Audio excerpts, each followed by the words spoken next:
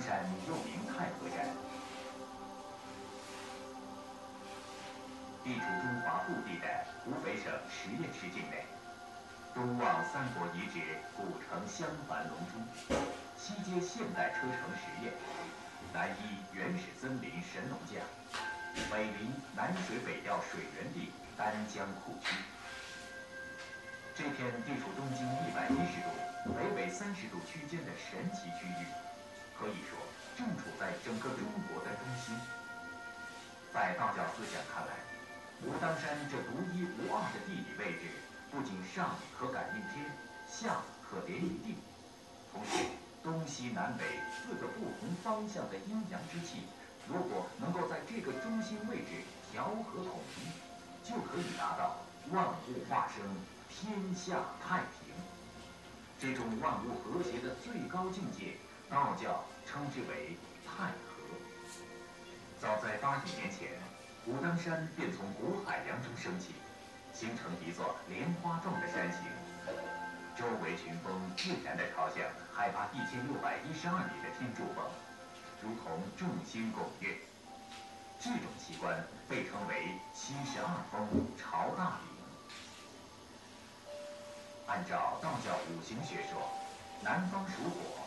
武当山峰顶的形状如同烈烈燃烧的火焰，水在火上，天下寂静。只有北方水神真武坐镇在这火形山上，才能达到风调雨顺、国泰民安。因此，便有了“非真武不足当之”之说。这也许是武当之名、太和之意的根本寓意。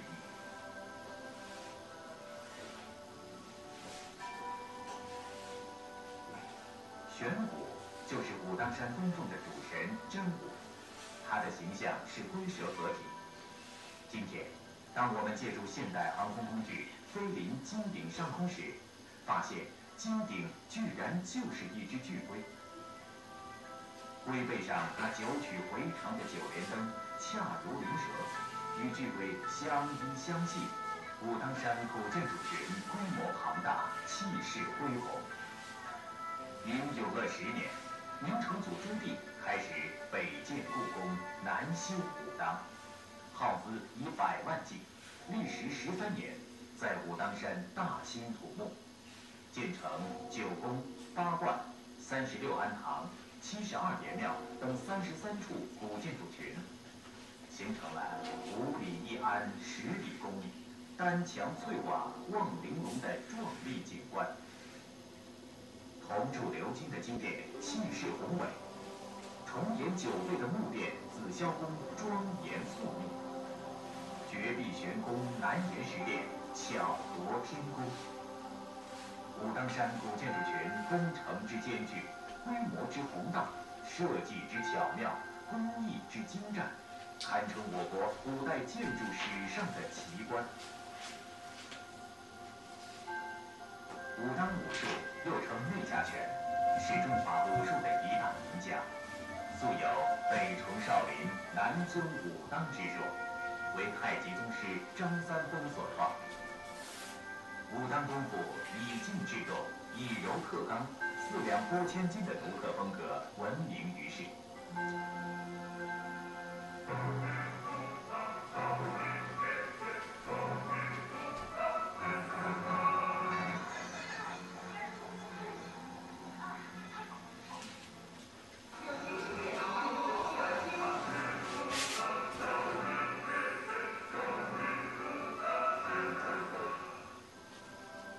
当山是国家级森林公园，南北物种交汇，植被丰富，被誉为天然药库。驰名天下的黄龙洞眼药，珍贵神秘的八宝紫金锭。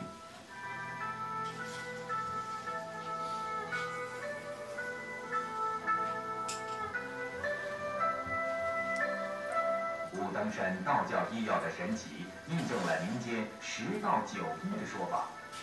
现在，武当道教医药已受到卫生界的普遍重视。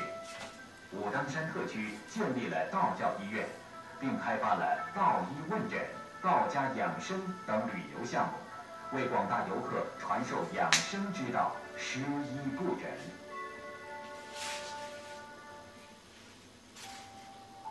武当山层峦叠嶂，林木茂密，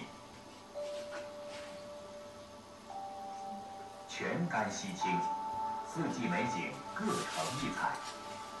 阳春，山花烂漫；盛夏，碧染山崖，九曲幽深；金秋，万山红遍，层林尽染；隆冬。银装素裹，丹霞傲雪。名山遍游历，谁似此山奇？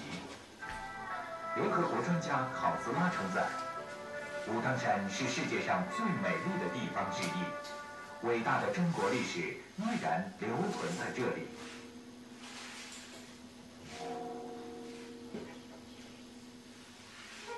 今天。开放的武当山旅游交通四通八达，湘渝铁路、汉石高速、银武高速、武当山机场和通江达海的汉江水道，为游客提供立体的旅游通道。景区基础设施完善，已拥有世界文化遗产、四 A 级旅游区、国家级文明风景区、全国重点文物保护单位、全国重点宗教活动开放场所。和中国武术之乡等各项会馆，二十多家旅行社，二十余家星级以上宾馆，两百多名高素质的导游队伍，为游客提供了完善的吃住行游乐购服务。一个以武当山为中心，连接古都西安、古隆中、神农架、三峡等旅游景区的中国西部黄金旅游圈已经形成。武当仙山神秘空灵，武当武术玄妙飘零，武当文化华夏魂灵。